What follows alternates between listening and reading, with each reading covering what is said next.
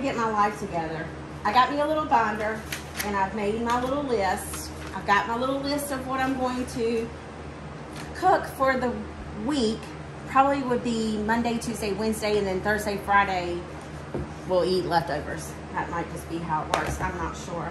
But I did go to the grocery store and there's things that I want to make. And a lot of these are for crock pot. So that's what we're gonna do. However, I'm going to try to get it all cooked today and then refrigerate it. So that way during the week, all we have to do is heat it up. And I'm hoping that there will be enough leftovers to where we don't have to cook anymore for that rest of the week. I don't know if that's gonna happen. But um, this is just roughly, I'm writing it down. I have orange chipotle chicken. Oh my, that sounds really good.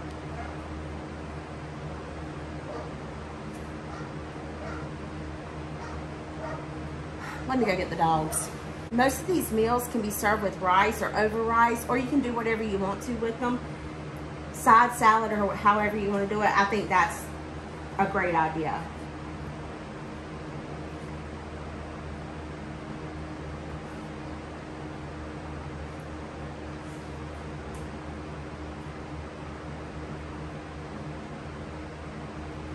and I love chicken, so I'm gonna eat a lot of chicken.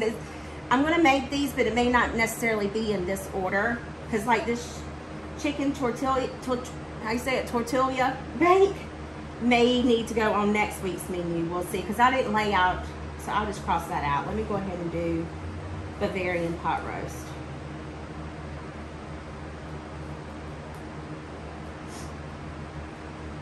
And then I have Moroccan braised beef.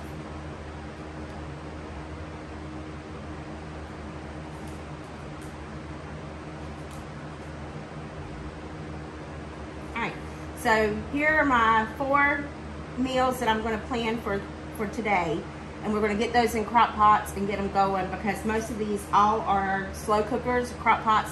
You could even do it in the Instapot and set it for like a timer. So let's get to making these and then I will, oh, I don't know how I'm gonna do this because I'm not very good at editing and recording. We'll figure it out, okay? So I'm gonna go gather ingredients and I'll be right back. For this recipe, you need chicken, but I'm gonna use chicken thighs versus chicken breast. And I am going to double this. So I am a saucy person, so I love sauce. But you will need the following. Orange marmalade, honey, balsamic vinegar, chili powder, chipotles um, in adobo. Now, you only need like one and a half um, teaspoons or something like that of these. And I think it's easier just to get the dice chopped because I'm going to use it for multiple recipes. Plus, you can refrigerate this after it's opening. So I'm really glad I found this. I got this at Walmart. Cornstarch, granulated garlic, and some canola oil. So all these ingredients are here. Let's get I'm to it. Use some crock pot liners. I did I did forget to bring that in here just because I plan on cooking this and then I'm going to refrigerate the crock pot. So that way too, it's an easier cleanup. I don't have to fret over having a huge mess to clean up during the week. So let me go grab those crock pot liners. I was, if you haven't got yourself some of these, I highly, highly, highly recommend you getting some. Also, I was thinking, you know how you can make ahead freezer meals? Well, why not go ahead and put it in the crock pot liner and make it into a freezer meal. Just put it in the crock pot liner that you're going to use and then put it in a freezer safe Ziploc bag. And then all you got to do is take it out of the Ziploc bag, put it in your crock pot and let it cook for the day. I think that's a wonderful idea, but you may not. It's okay. Leave a comment below. all right, so let me get my chicken in here. Again, it said chicken breast. I'm using chicken thighs, and I am doubling this recipe. One, because I think it's to taste really, really good, and two, I'm excited about it. So there you go. So let's, let me, I'm to go ahead and plug this up. You can see in there pretty good. Yeah, me bring you a little closer. All right. So we need boneless, skinless chicken breast. I'm using chicken thighs. An eighth a teaspoon of salt, a dash of pepper. Okay, well, here we go. You know me and my pepper, so I'm going to give it some love.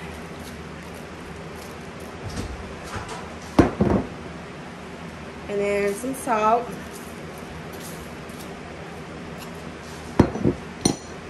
Now here's where you're going to see a lot of my bad habits. This is issues I have within me. I am a stir, so I got to stir that. Just because I want to make sure all my chicken is kind of coated. I don't want anything to get left out of the party, as Anne Burrell would say. We want all that to marry together. And this is what I mean by having leftovers for the end of the week. So I probably should have cleaned these chicken thighs better because I didn't clean them at all, to be honest with you, but it's okay. It wouldn't be cooking with April if I didn't leave an ingredient out. So we need a quarter cup of chicken broth. I'm doubling it, so I need a half a cup of chicken broth.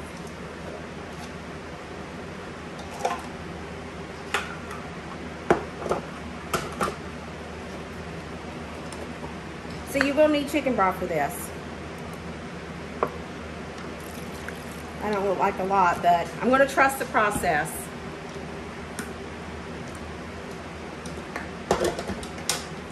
All right.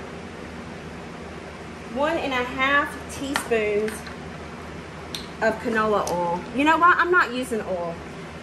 There's enough fat on that chicken that I'm I'm not going to do it. Now you do however you want to do. It's your your kitchen, your house.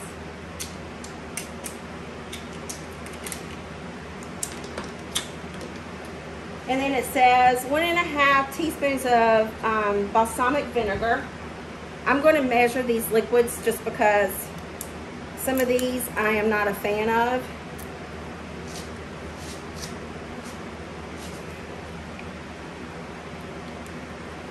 Goodness gracious, I can barely get it. So one and a half teaspoons of balsamic vinegar. Wouldn't that be a tablespoon? Sounds good to me.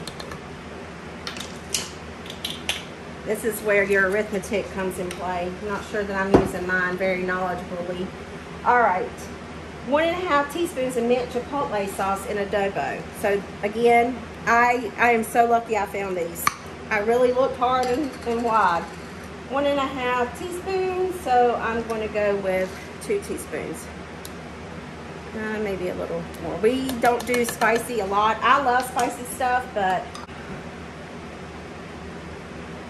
a half a tea, one and a half teaspoons of honey, so I'm just going to eyeball that. This will just counteract that heat.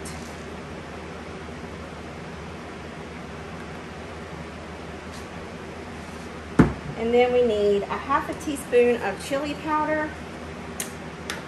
So a full teaspoon.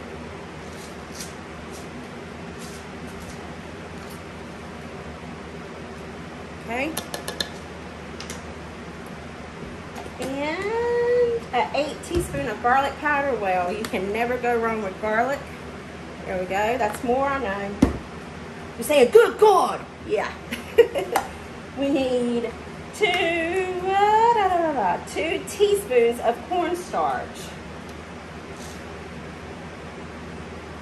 One. There's two. It's a little more, it'd be all right. I like it thick. And one tape, wow, one tablespoon of cold water. I'm not gonna do that. Now I'm gonna mix it up. I must say, it smells divine just like this. This is what we're gonna eat today. Today is Sunday when I'm recording this, so this is what we will be eating today. Oh, I just hope I didn't put a hole in my liner. That's the only thing that I'm dangerous with. All right, I'm gonna put it on low and let it go. Again, it wouldn't be April if she didn't do something right. I forgot the orange marmalade. You need three tablespoons of orange marmalade. So here's two. That's probably three, but why not another little scoop? All right.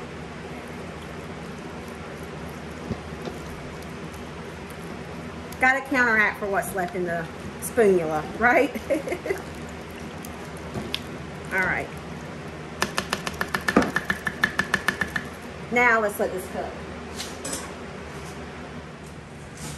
I'm putting rice in my ricer for the chicken chipotle. Um, what was it called again? Orange chipotle chicken.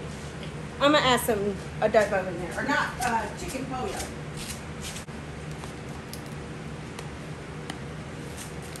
I love this seasoning. And then what I'm gonna do is add some pepper as well. And then I let this come to a boil before I add my rice in there. Whoop, that was a lot. And go some pepper and I'm gonna, got it on the cook and I'm putting the lid on it. Just gonna bring it to a boil. I must say, this chicken is done. I don't know how it would be with chicken breast being I use chicken thighs. Oh my, I cannot wait to taste it. Look at that. Oh, I'm so excited. And I think I'm going to have enough leftovers too. Oh, and I caught my little mistake. I only put three tablespoons of orange marmalade, which was probably a little bit more, but I should have doubled that. I ended up figuring out when I was chopping up an onion for another recipe that I didn't put six tablespoons of orange marmalade in there. So I did add more into it before um, it started cooking. But guys, I'm just going to say this, this smells divine. I can't wait to taste it. There we have it that chicken, man. Oh, see the orange here? Oh, it just looks so good. Well, it is hot here, but I'm going to enjoy this food. I'm going to get me a fork. I can. I, I'm just going to taste. I'm just going to taste the chicken. Y'all know what rice tastes like. You know what rabbit turds taste like. You either like them or you don't. Peas. Um, is so good. That chicken is good. The, the description, in the description box will be a full link. You can click on it. It's Taste of Homes. Absolutely amazing. I hope this video put some yummy in your tummy and a smile in your heart. I'll see you guys in the next one. Bye.